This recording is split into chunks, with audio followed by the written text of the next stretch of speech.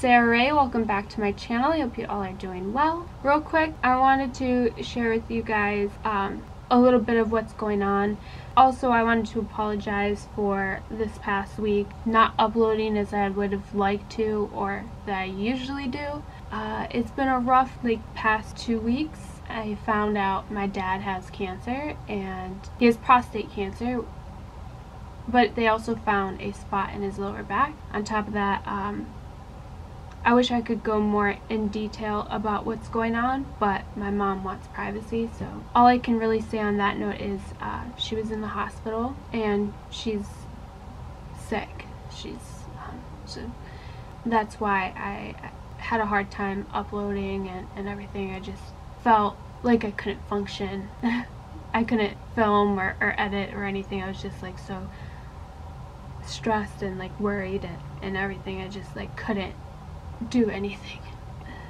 But um, staying positive, I'm here and uh,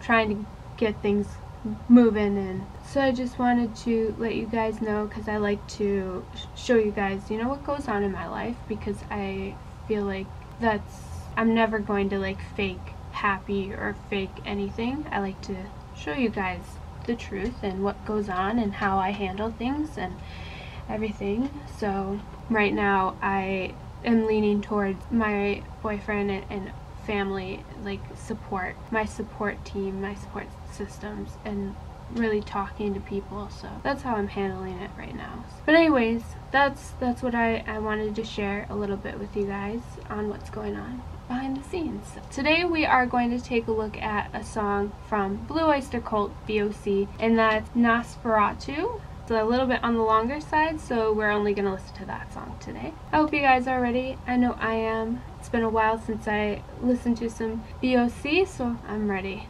Let's jump straight into it. You know the drill. Like, comment, subscribe, hit the bell for notifications of when I upload, and let's listen to some Blue Oyster Cult.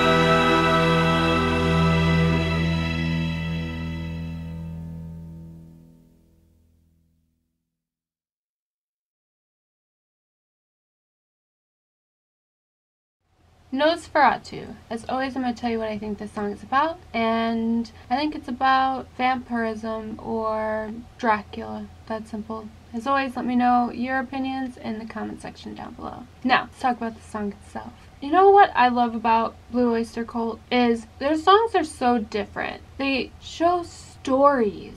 They they tell stories and most of their songs and oh, their songs have such atmospheres and pictures. You can just see it. It's incredible. They are so underrated. This song, there was such doom lingering in it. There was such drama, a spookiness and eeriness within the piano work. The solo, the guitar solo gave off a haunting vibe. The vocals were brilliant. There was such beautiful harmonies. Everything just played beautifully together from the vocals to the instruments, everything. And the melody set the mood of the song. The riff was just so creepy and and incredible. Everything about this song was just a masterpiece. Nothing can relate. It's incredible. I love this. I this is why I love Blue Oyster Cult. It's just so different and it, it's a work of art that you could just sit there and listen and appreciate because it is so different. There, it's almost like a painted picture, but in a music form because they are telling this story so descriptive, you know? I love it.